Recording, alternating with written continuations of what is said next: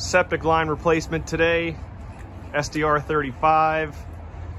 Got our gasketed fittings and Ian and Lynn Warren Landscaping.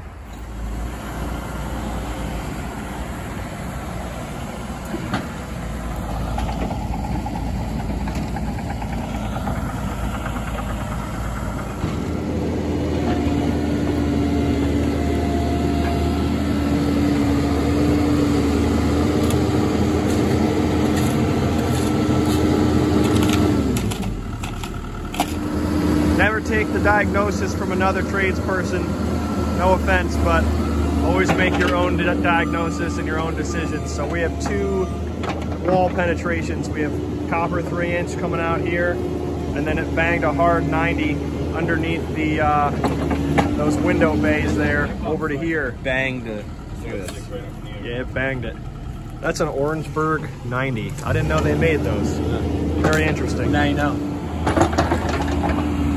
So we're digging more. We're gonna get a couple more fittings, more pipe. We're gonna do two tie-ins. We're gonna do one from the left side here and one from the right. Individual cleanouts for both. We're gonna Y Street 45 and go straight into the tank. That's the plan. We'll know more when we get the ground completely dug and the pipe completely exposed. But this is all Orangeburg from like the 1950s, 1960s, and it only lasts about 40 years. So we'll show an inside clip of what it looks like when we're done. The guys did a great job getting the lay of the land all pitched right and everything and cleaning up the copper. It's copper penetration through the foundation wall. Ian is going to get it smooth so we can put our transition bands on there. And we're going to bed that in really nice so that there's minimal risk of it sagging. Here's our septic tank. And we're going to Y in a couple different penetrations from the house with SDR 35 gasketed fittings. God damn.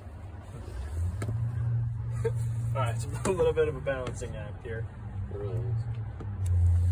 Actually, this level is not making. I'm not getting an accurate measurement here. Can I have a little? Hey, how you doing? Can I have a little piece of SDR? That small one. Small, small. Small one, no hub. Oh, that one works too. Okay. Thank you.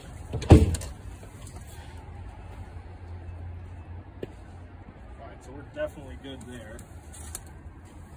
100% good there.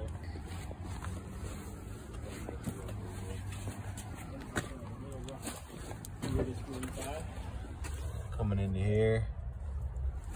It's gonna come out right here. Hydraulic cement action.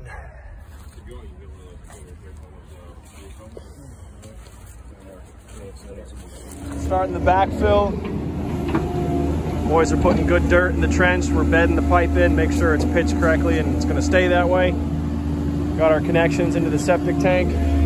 It's copper penetrating the foundation, so we use uh, transition bands, copper to Schedule 40 plastic. We're gonna run a bell reducer here so we can get up to four inch outside. There's really no other way to do that. And then we have uh, SDR 35 by Schedule 40 bushing, this thin guy solvent welded into our bell reducer so we can glue the SDR into there.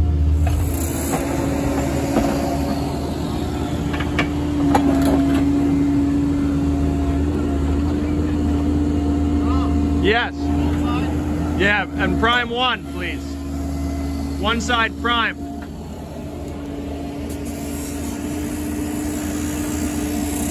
Wrapping up here. Got both cleanouts installed here and here. They're gonna mulch this whole area and that'll probably bring the clean out cap only, the actual clean out itself just above grade, the white portion, so you can still see it. Exactly what we want. We're gonna plant flowers here and all that good stuff, so it's looking good. Got three tie-ins.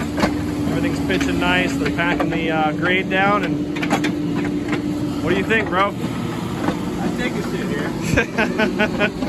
You and me both. Yeah, look at this. Yeah, this is Orangeburg pipe, so this was big How back in the is it 60s. Um, if, if it was real weak, you could probably, I mean, No, that's fucking yeah, don't do that. But it's an oval now can see it's definitely no longer a circle. It's easily punctured, you know, one tap with a shovel and that's that's broken.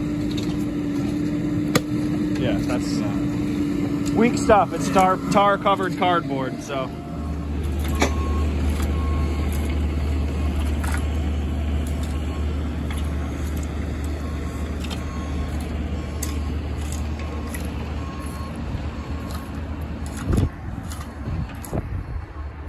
job well done.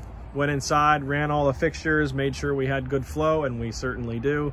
We checked for pitch very often, made sure that when we moved one section of pipe, we checked every section prior to make sure that it was still good and had the proper fall on it. Everything is nice. We're covered back up and our friends over at Lynn Warren Landscaping do a really, really good job and they're gonna come back here and mulch all this up, make it look all pretty again. But other than those two cleanouts sticking out, it was like we were never even here and barely even see the machine tracks in the lawn. So excellent job by everybody.